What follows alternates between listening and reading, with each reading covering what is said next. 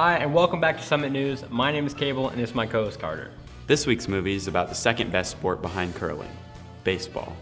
The movie this week is A League of Their Own. Did you know Summit is the host of the fifth annual Food Truck Festival coming July 9th? It will be held in the Summit parking lot, and there will be lots of food truck options to choose from. And 10% of all sales will go to World's Biggest Backpack. Come enjoy great food and support local businesses. Men, don't forget, the return is coming July 21st through the 25th.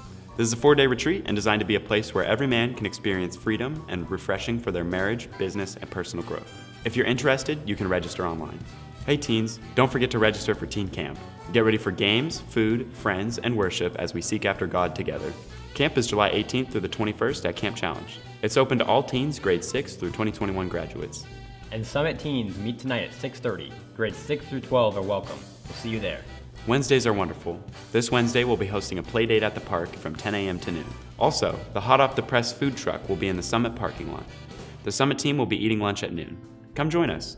And lastly, the groups Going Deeper and Knots and Hooks will be meeting in the lobby at 6:30.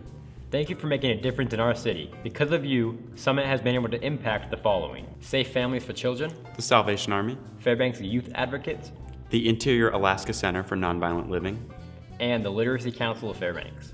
And we're not done yet. Backpack, Summit Serve, and more opportunities are still on the horizon. Plus, you can check out the Making an Impact page on summitak.org too. Are you new to Summit? Meet the pastors at the mountains in the lobby after service or scan the QR codes in the seat back. We'd like to say thanks with a special gift just for you. Thank you for joining us, and we'll see you guys next time. Bye.